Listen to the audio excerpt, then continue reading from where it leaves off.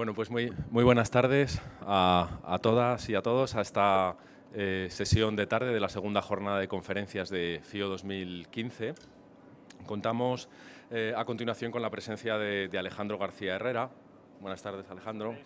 Él es el director de la empresa Aves Cantábricas y es especialista en fauna vertebrada. Alejandro es autor de diversas publicaciones científicas y estudios sobre aves forestales, marinas y acuáticas y también herpetofauna, estudios e investigaciones que ha realizado para universidades, para organismos científicos, administraciones y consultoras. Alejandro ha coordinado diversos programas de educación ambiental, así como cursos formativos relacionados con la fauna vertebrada y eventos como el Festival de la Migración de las Aves. Su, intervención versa precisamente sobre este festival, cuya primera edición tuvo lugar en el año 2007 y que hoy en día se ha convertido en uno de los eventos de referencia nacional para los amantes de la naturaleza. Es un festival del que nos va a hablar, como digo, en profundidad, eh, que se celebra cada fin de semana, en septiembre, en el entorno del Parque Natural de las Marismas de Santoña, Victoria y Joyel, en Cantabria, y que tiene como objetivo principal acercar a la población el fenómeno de la migración de las aves, utilizándolo como herramienta de sensibilización en materia de conservación y potenciando el papel del Parque Natural como motor de desarrollo local. Bienvenido Alejandro, muchas gracias, y cuando quieras. Buenas tardes a todos. Bueno, se escucha bien, ¿no? En primer lugar, bueno, agradecer a la organización de, la FIO esta oportunidad, esta ocasión de, darnos eh, la, ocasión de hablar del, Festival de la Migración de las Aves aquí en Extremadura. Y bueno, presentarme, soy Alejandro, eh, vengo en representación de la empresa Aves Cantábricas, que trabajamos principalmente en Cantabria. Y bueno, os vengo a hablar eh, del Festival de la Migración de las Aves, que es un evento que ya bueno, tiene cierta solera, ya el año pasado se celebró la octava edición y este año, el tercer fin de semana de septiembre, esperamos eh, poder realizar, poder abordar ya la novena edición de este Festival de la Migración de las Aves en, el ámbito del Parque Natural de las Marismas de Santoña, Victoria y Joyel. Bueno, sé que es una hora un poco después de comer, eh, voy a intentar no daros mucho el rollo, que, que sea una cosa amena. No obstante, bueno, si queréis, tenéis eh, luego la posibilidad de, preguntar al final de la, charla cualquier duda que tengáis al respecto. Bueno, vamos a, comenzar hablando del festival. Como os decía, es un evento que tuvo su origen en 2007, ¿vale? fue su primera edición ese año, y desde entonces, de manera anual, se ha ido abordando este, este evento eh, durante formato de fin de semana, desde el viernes por la tarde hasta el domingo al mediodía, antes de, comer, que es cuando es la, clausura del mismo, con la entrega de premios y demás. Bueno, la idea es que sea un, un evento regular, que bueno, ya está ciertamente consolidado y que, como os decía, se, se, aborda en el ámbito del Parque Natural de las Marismas de Santoña, Victoria y Joyel, que bueno, no sé si todos lo conocéis, es eh, deciros que es el humedal más importante del norte de España, eh, está en el, Cantábrico, en, la zona oriental de Cantabria, en los municipios pues, de Santoña, Laredo, Colindres, Cicero, Argoños, Noja, Arnuero. Se utiliza el centro de interpretación, el centro de visitantes de este parque natural como sede, eh, como centro neurálgico del festival, para hacer allí el acto de inauguración y clausura, la entrega de premios y también las charlas que se abordan durante el fin de semana. Digamos que el centro de visitantes es el punto de partida. Idea es que este festival sea un referente a nivel nacional en este tipo de, eventos de divulgación de la, migración, del fenómeno migratorio de las aves y pensamos que, vamos en la, buena línea, así nos lo acredita la participación, que fue aumentando hasta, hasta mantenerse ya, como vais a ver, en, en torno al millar de personas cada edición.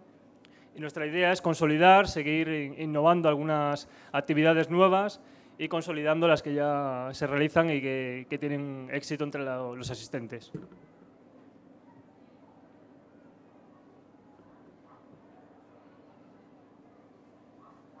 la idea del festival es la divulgación, dar a conocer entre la, población, tanto local como, como, los asistentes al evento, divulgar la importancia que tiene el Parque Natural de las Marismas de Santoña, Victoria y Joyel, como lugar de, sedimentación en los eh, procesos de, paso migratorio, principalmente en, septiembre, agosto, septiembre, octubre es una época de migración en, las marismas. eh, para una cantidad de, pues, de espátulas, de, de ardeidas, patos, eh, limícolas. Y la idea es divulgar este, esta importancia ¿no? que tienen estas marismas, estos, estos humedales de, del Cantábrico, y acercar a, tanto a la población local como a los visitantes esta importancia de, de estos lugares y de estos humedales. También, bueno, desestacionalizar un poco la, la oferta de, del sector turístico en, en el Cantábrico, ¿no? que siempre es un poco, está asociado al sol, a la playa, al, bueno, al, a los meses de julio, de, de agosto, ¿no? y luego el resto del año que está un poco más eh, abandonado y hay, un importante recurso de turismo ornitológico que está en auge, cada vez se, se aprecia más en el ámbito de, de, este parque, bien durante las migraciones y especialmente sobre la, durante la invernada, en los meses desde noviembre hasta marzo, que es cuando se produce la mayor llegada de, aves acuáticas.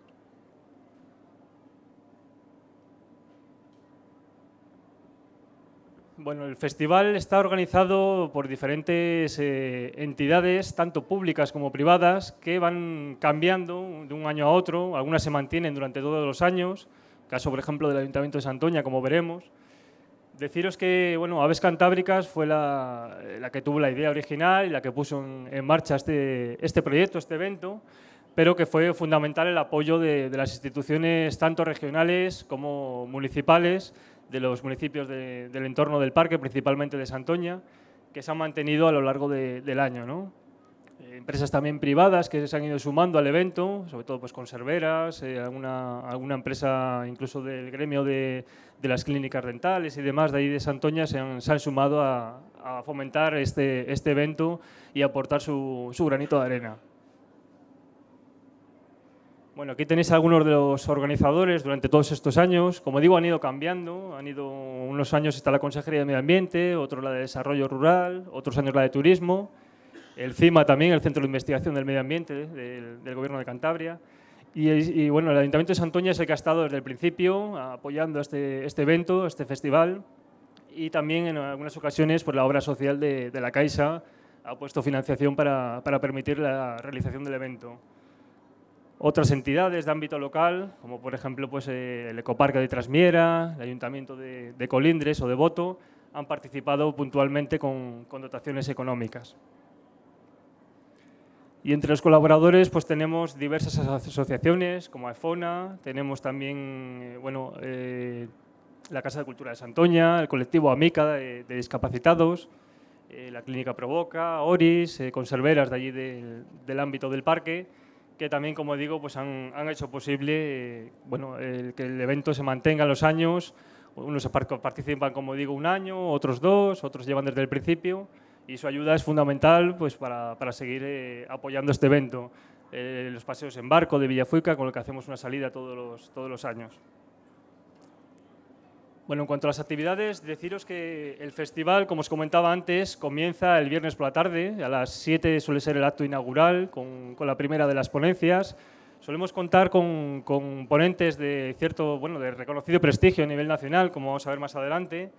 Y el viernes por la tarde, a eso de las, de las 7, pues empezamos con, con la primera ponencia, una ponencia pues, que suelen cambiar todos los años, pero siempre tiene que ver con la migración. Migración de aves rapaces, de limícolas, de espátulas. El primer año nos habló Otto Overding, eh, paseriformes y demás. Luego también hay charlas eh, de contenido más naturalista sobre viajes a, a, otros países, a Noruega, a Sudamérica, diferentes destinos ornitológicos mundiales. Y además pues hay otras actividades pues como el maratón ornitológico que se celebra todos los años, el concurso de fotografía, un concurso de fotoidentificación donde se hace un pase de, de fotografías de aves con, en posiciones difíciles o, o, que salgan algo borrosas o lejanas para intentar eh, añadir cierto valor a la identificación del ave y al, al, que acierta la identificación se le da una lata de, de anchoas ¿no? como premio y es un concurso que tiene bueno, bastante aceptación y, y nos echamos unas risas todos los años. Y luego pues hay también pues, puestos de observación de aves, salida en barco, demostración de anidamiento científico, talleres y juegos infantiles. Y bueno, algunos años eh, hemos podido también realizar el espectáculo Ciclo, que es un espectáculo de calle, una representación teatral sobre eh, diferentes aspectos de la migración, pero enfocado desde el punto de vista artístico y, y humano, con, bueno, con trapecistas, con participación de, de juegos de luces, de sonido, y que también pues, es una de las actividades que mayor aceptación tiene entre, entre el público asistente. Bueno. Ahí tenéis pues, la relación de los, de los, ponentes que han participado a lo largo de, de, de estas eh, ocho ediciones del festival. Como veis, son ponentes de, reconocido prestigio nacional, Eduardo de Juana, Otto Oberdi de Holanda, el doctor José Antonio Masero de aquí de Extremadura, eh, diferentes José Luis Tellería, ¿vale? Son personas eh, con un amplio dominio en el tema de la, de la bifauna, de las migraciones. Eh, por ejemplo, Alejandro Rubia nos habló de la migración de las aves rapaces, nos hablaron también de los, de los paseriformes, Iván de la Era, de las adaptaciones de, los, de, las, las, aves limícolas a los ambientes salinos, nos habló el doctor José Masero, o Otto Verdit sobre las espátulas y su migración desde Holanda hasta Mauritania, parando en Santoña. Estos son los, ponentes que hemos tenido. Aquí veis algunas fotografías del aula donde realizamos las, conferencias, las charlas, en el Centro de Interpretación del, Parque Natural. Bueno, aquí tenéis un poco la, afluencia de, público en, todas estas ediciones. Empezamos eh, en torno a las 500 personas la primera edición, para duplicarlo a la, segunda, eh, en torno a las 1.000 personas, y ya en la tercera haber llegado hasta las 1.200. Luego se ha ido manteniendo, ha bajado algunos años, ha vuelto a subir, pero más o menos estamos siempre en torno al, millar de, personas asistentes en el festival. Esto lo hacemos con una metodología eh, para cuantificar los, las personas que pasan por diferentes actividades para intentar no, no sumarles dos veces. Bueno, este es el cartel de la, última edición del octavo Festival de la Migración de las Aves, con el logo específico del, festival, ¿vale? los colaboradores y luego pues el programa de actividades que hubo. ¿Veis? Eh, ponemos un, mapa con los diferentes puntos donde hay actividades para que la gente los, localice y luego por la parte de atrás pues eh, la actividad, los horarios y el lugar donde, donde se desarrolla. Como ves hay un, un amplio abanico de actividades, puestos de observación, talleres, ruta en barco, charlas, concurso de, fotografía. Bueno, ahora os voy a pasar una, serie de, fotografías en relación al festival de, diferentes ediciones. Empezamos, bueno, esta es una, de las ponencias con Jorge Sánchez, el doctor Jorge Sánchez de aquí de, Extremadura también. El acto de bienvenida a las espátulas que hicimos las primeras ediciones eh, con la alcaldesa de Santoña, con Puerto Gallego y con el director del Parque Natural esto fue una representación, una lectura de un comunicado para dar la bienvenida a nivel institucional a, las espátulas que, regalan todos los años en el Parque Natural, en el estuario de la Son. Y bueno, fue un acto que se hacía al aire libre, donde, como digo, se leía un, comunicado. Luego aquí tenéis eh, miembros de participantes en el maratón ornitológico de las marismas de Santoña, estos hacen equipos de dos, tres personas que recorren a pie o en bicicleta desde las 8 de la mañana hasta las 6 de la tarde el sábado. Van recorriendo las diferentes zonas del estuario de la marisma, anotando el mayor eh, eh, número de especies posibles de, aves que, bien sean eh, observadas o escuchadas. Luego hay un jurado con los miembros del Anuario Ornitológico de Cantabria que delibera y, se hace luego la entrega de premios. Como digo, también hacemos salidas en barco por el ámbito del, estuario, del entorno del Monte Buciero. Bueno, este es el, espectáculo ciclo que os comentaba antes, con diferentes eh, representaciones teatrales, a veces al aire libre cuando el tiempo así lo permite, otras veces hemos tenido que realizarlo por motivos de, lluvia dentro de un pabellón. Y bueno, va cambiando, eh, son diferentes eh, tramas, ha habido un año que ha sido más enfocado al, al teatro, otros más enfocado al punto de vista artístico, con, trapecistas, con bailarinas. Y es, como digo, una de las actividades que más eh, público atrae. Público no solo aficionado a las aves, sino también al tema artístico. Aquí veis otra, otra fotografía de una de las trapecistas. Esto es en la zona de Bengoa, donde está el observatorio de Bengoa, en la zona de Solija. Ahí montamos unas carpas donde se realizan, pues por un lado, las actividades infantiles, los talleres y juegos infantiles para los más pequeños. También se hace un, puesto de observación de aves. La marisma está justo aquí al lado. Y en la carpa de la izquierda ahí tenemos el anillamiento científico de aves. En, un pasillo de vegetación contiguo se ponen las redes. a las redes solo acceden los anilladores, por supuesto, con, con autorizaciones y demás. Ese camino está cortado al público y sacan los paseriformes para que los más pequeños puedan ver en qué consiste la, migración, el anillamiento, qué utilidad tiene y se les explica pues, de, dónde vienen las aves, a dónde van, dónde van parando y ese tipo de, aspectos que, suelen ser interesantes para los más jóvenes. Ahí veis liberando un, un paseriforme después de anillarle. Los puestos de observación de aves, este es en, en la marisma del Joyel, en el municipio de Arnuero, en el molino de Santa Olaja. Solemos eh, entre tres y cinco puestos de observación de aves repartidos por puntos estratégicos del, parque, donde pues, hay una persona con un telescopio, con, una guía de identificación, mostrando las aves a, la gente que por ahí se, acerca. Hubo un par de años también que hicimos eh, un vuelo cautivo en globo, que también bueno, atrajo bastante, bastante público ahí en la localidad de Santoña. Y bueno, pues aquí tenéis eh, los talleres y, y, juegos de los más pequeños, pues hacen recortes, hacen móviles, se hacen pues también actividades de reconocimiento de, de, de aves. Bueno, hay una serie de monitores eh, cualificados que van mostrando a los más pequeños las, las aves y, y, haciendo móviles eh, y demás recortes y manualidades. Y luego otra de las actividades que, que realizamos en estos últimos años como novedad es un taller de fotografía digital con un fotógrafo profesional que bueno, habla sobre la, la técnica del de, uso de barreras de infrarrojos, sabéis eh, los comederos que se ponen para, para, las aves o incluso bañeras donde acuden a, a, lavarse los paseriformes. Entonces se ponen unas barreras de, de infrarrojos y cuando el, el, ave pasa pues se dispara la, la fotografía y enseña pues, los trucos eh, que hay que realizar para, a la hora de obtener este tipo de, de instantáneas. También se hace un recorrido a pie fotografiando in situ a las, a las aves y explicando pues, las técnicas de digiscoping o otro tipo de modalidades de, de, fotografía. Como decía, también hay un concurso de fotografía que algunos años ha tenido hasta 1.000 euros en, en, premios.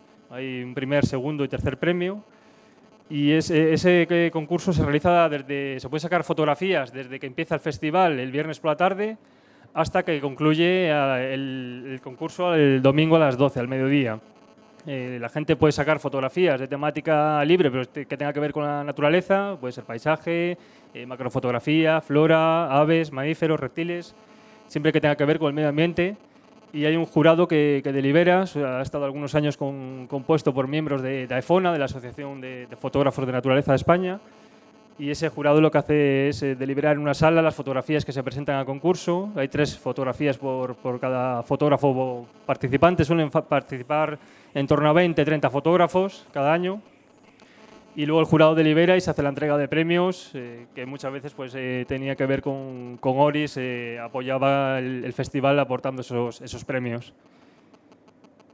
Y eso es un poco lo que, lo que os quería comentar en relación a, a este evento que, como decía, pues se celebra cada tercer fin de semana de septiembre en el entorno del Parque Natural de las Marismas de Santoña, Victoria de Joyel, en Cantabria que es un evento que quiere acercar, que quiere difundir la migración de las aves entre la población local y entre la población asistente, entre los turistas también. Y la idea es divulgar para, para conservar y favorecer la conservación y, que este parque natural se convierta en un punto pionero de, turismo ornitológico, en un, un, punto clave dentro del, del turismo ornitológico en el, en el norte de España. Y no sé si tenéis alguna pregunta en relación al festival. El centro de interpretación está entre el puerto pesquero y el puerto deportivo de Santoña. Hay un edificio allí que parece el, el, casco de un barco, unas cristaleras, y está en la parte inferior. Allí hay, bueno, hay una exposición permanente que se puede ver los ecosistemas, eh, la flora, la fauna del, del, parque. Se hacen también rutas desde allí. Y allí en el aula que tienen ellos es donde aprovechamos para, para hacer bueno, las, las charlas, la entrega de premios y demás. Pues ya te digo, es un edificio muy característico porque se parece al casco de un barco con cristaleras y está allí junto al puerto pesquero y bueno, se ve bastante bien porque es bastante grande. Y luego, eh, bueno, que bienvenido y tal, yo soy de allí del norte y luego lo que no encuentro es infraestructura hotelera porque mm, está un poco... Allí en la zona, dices. Sí, en la zona. Bueno, hay desde posadas, algún apartamento rural en Santoña y luego el albergue municipal. Y luego ya hoteles como Juan de la Cosa y demás. ¿Alguna cuestión más?